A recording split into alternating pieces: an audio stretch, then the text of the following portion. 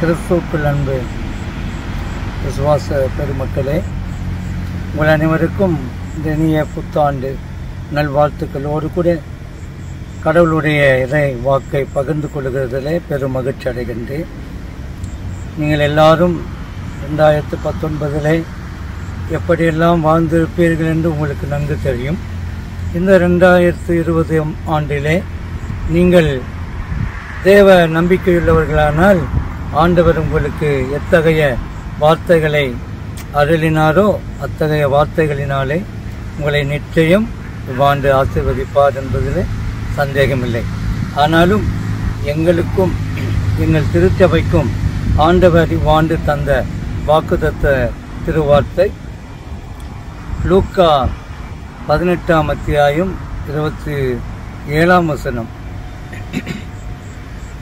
மனுஷனால் கூடாதவைகள் தேவனால் கூடும் என்ற அருள்நாதர் இயேசு கிறிஸ்துவின் அருள் வாக்கு எங்களுக்கு அருளப்பட்டிருக்கிறதை நாங்கள் முழு நிச்சயமாய் நம்பி இந்த வசனத்தை உங்களோடு கூட நான் பகிர்ந்து கொள்கிறேன். அன்புக்குரிய தேவ பிள்ளைகளே மனிதனால் கூடாதவைகள் ஒன்றுமில்லை இந்த அறிவியல் உலகத்திலே. ஆனாலும் சில காரியங்கள் அவனால் இயலாதவைகளே. என்ற உண்மை இன்றைக்கும் மறையா பொருளாக இருந்து வருகிறதை நாம் அறிகின்றோம். அதிலே எத்தனையோ காரியங்களை நான் உலகத்திலே மனிதனால் இயலாதவைகள் இருக்கிறதை நான் உங்களுக்கு சொல்லக்கூடும். ஆனால் ஒரு சிலவற்றை நான் நினைவுபடுத்த வாஞ்சிக்கிறேன். மனிதன் சில வியாதிகளிலிருந்து மருத்துவம் அவனை சுகப்படுத்துகிறது. சில வியாதிகளில் இருந்து அவனை சுகப்படுத்த மருத்துவம் மறுக்கிறது. அப்படிப்பட்ட நேரங்களிலெல்லாம் ஆண்டவருடைய அருள் வாக்கு குணப்படுத்துவதை நாம் யாவதும் அறிந்த உண்மையே. சில வேளைகளிலே பழையாட்பாட்டிலே நம் வேத ஆதாரமாக அறிய வேண்டுமானால் ஆதி பிதாவாகிய ஆபிரகாம் விசுவாசத்தில் தகப்பனாய் இருந்தாலும் அதற்கு முன்பதாக அவன் பிள்ளையற்றவனாக பிள்ளை பேர் அற்றவனாக இருந்த பொழுது தேவன் தமது தூதர்களை அனுப்பி உனக்கு பிள்ளை பேறு காலத்திலே உனக்கு ஒரு பிள்ளை உட்பவித்து பிறக்கும் என்று அருள் வாக்கு கொடுத்தார்.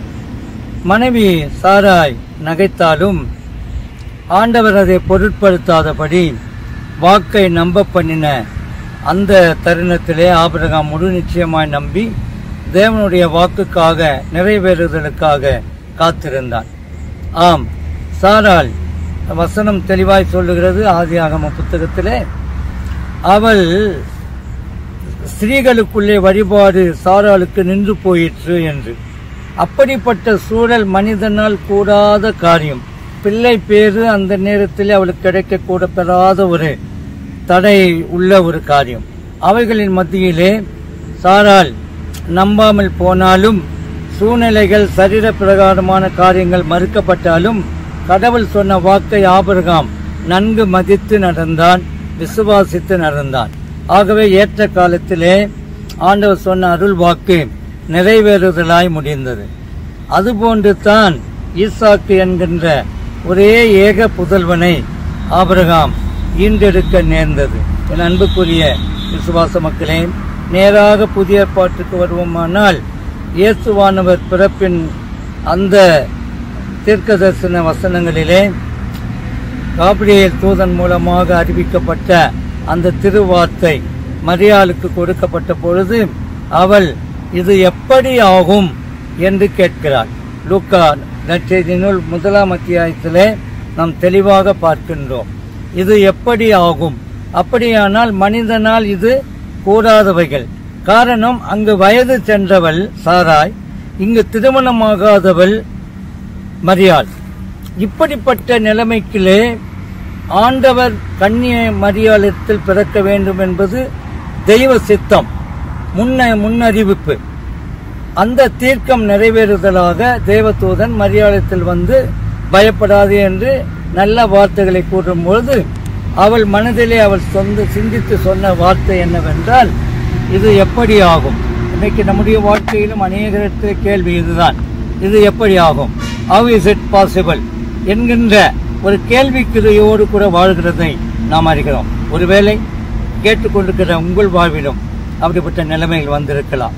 அது குழந்தை பேரோ அல்லது உங்களுடைய தேவைகள் என்று எண்ணப்படுகிற எப்படிப்பட்ட சூழ்நிலைகளோ நான் அறியேன். ஆனால் இது எப்படி ஆகும் ஹவ் இஸ் இட் பாசிபிள் என்கின்ற கேள்வி நிச்சயம் வந்து கொண்டே இருக்கலாம். அப்படிப்பட்ட சூழ்நிலைகளிலே ஆண்டவருடைய அருள் வாக்கு உங்களுக்கு வருகிறது. தேவனால் கூடாத காரியம் ஒன்றும் இல்லை இறைமையா முப்பத்தி ரெண்டாம் அத்தியாயத்திலே நாம் தெளிவாக பார்க்கிறோம். யோபியின் புஸ்தகத்திலும் பார்க்கிறோம். தேவனால் கூடாத காரியம் ஒன்றும் இல்லை அவர் செய்ய நினைத்தது ஒன்றும் தடைப்படாது என்று. ஆகவே ஆண்டவர் செய்வாரானால் அவரால் மட்டுமே ஆகும்.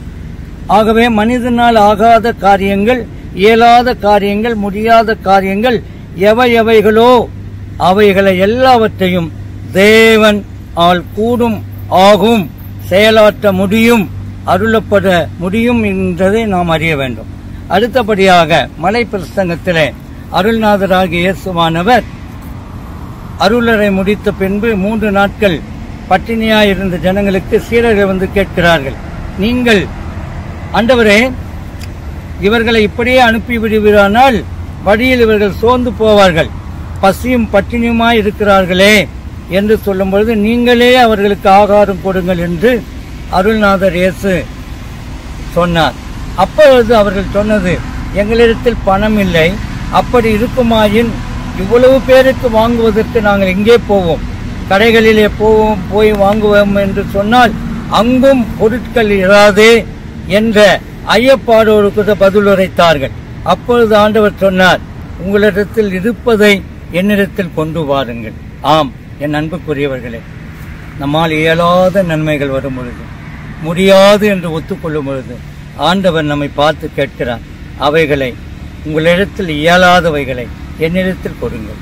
நான் உங்களுக்கு நிச்சயமாக என்னால் ஆன மட்டும் இயன்ற மட்டும் எல்லாவற்றையும் உங்களுக்காக செய்து முடிப்பேன். விசுவாசியுங்கள் என்னிடத்தில் கொடுங்கள். ஆம் நாம் நம்மையே ஆண்டவரிடத்தில் கொடுக்கும்போது முடியாதவைகளை இயலாதவைகளை நம்மால் கூடாதவைகளை. ஆண்டவர் கரங்களிலே கொடுக்கும்போது அதை அவர் ஆசீர்வதித்து கொடுப்பாரானால். ஆம் ஏறக்குறைய ஐயாயிரம் பேர் புருஷர்கள் மாத்திரம் சாப்பிட்டார்கள். ஸ்திரீகள் அதிகம் குழந்தைகள் அதிகம் வாலிபர்கள் அதிகம். இவர்களெல்லாம் கணக்கிட்டால் லட்சத்துக்கு மேலே போகலாம். ஆம் பனிரெண்டு கூடை நிறைய எடுத்தது மிச்சம் எடுத்தது உண்மையானால் உங்கள் வாழ்க்கையிலும் நீங்களால் ஆகாதவைகளை தேவன் எல்லாவற்றையும் செய்து முடித்து மிச்சமும் எடுத்து உங்களுக்கு போதுமான இடம் கொள்ளாமல் போக மட்டும் ஆசிர்வதிப்பேன் என்று சொன்ன ஆண்டவர் நிச்சயம் ஆசிர்வதிப்பார். ஆம் உங்களிடத்தில் இயலாதவைகளை அருள்நாதர் இயேசுவின் கடங்களிலே கொடுங்கள். ஆம் அவர் உன்னையே என்னிடத்தில் வருகிறவனை நான் புறம்பே தள்ளுவதில்லை ஆம் யோவான் மூன்று பதினாறு என்ன சொல்லுகிறது? ஆம் தேவன் தம்முடைய ஒரே பேரான குமாரனை விசுவாசிக்கிறவன் எவனும் அவன் கெட்டு போகாமல் நித்திய ஜீவனை அடைமுடிக்கு அவரை தந்தருளி. இவ்வளவாய் உலகத்தில் அன்பு கூர்ந்தார் அன்பு கூர்ந்த ஆண்டவர் அவரால் ஆகாத காரியம் ஒன்றுமில்லை எல்லாவற்றையும் உருவாக்கினவர் அவர்தான். உன்னையும் என்னையும் மனுகுலத்தையும் உருவாக்கினவரும் அவர்தான். ஆகவே நம்மால் இயலாதவற்றை அவரிடத்தில் கொடுப்போம். பூமியும் அதன் நிறைவும் அதிலுள்ள குடிகளும் கர்த்தருடையது அவருடையவைகள் அனைத்தையும் நம்முடையவைகளாய் கொடுத்து நம்மை மகிழ்விக்க அவர் காத்திருக்கிறார். ஒன்றே ஒன்று செய்யுங்கள்.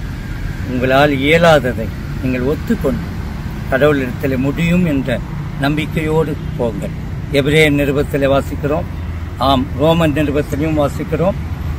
அவன் விசுவாசத்தில் பலவீனமாயிருந்தும் முழு நிச்சயமாய் நம்பி அவன் கடவுளுடைய ஆசீர்வாதத்தை வாக்குதத்தத்தை பெற்றுக்கொண்டான் என்று ஆம் முழு நிச்சயமாய் நம்புவோம். ஆசீர்வாதத்தை பெற்று இவ்வாண்டு சீரும் சிறப்புமாய் வாழ்வோம். மனிதனால் கூடாதவைகள் தேவனால். மத்திய சுவிசேஷகன் சொல்லுகிறது போல தேவனால் எல்லாம் கூடும். ஆம் அவரால் எல்லாம் கூடும். கடவுள் உங்களையும் உங்கள் பிள்ளைகளையும் வர்த்திக்க பண்ணி ஆசீர்வதிப்பாராக. ஆமீன். ஆமீன். அல்லேலூயா.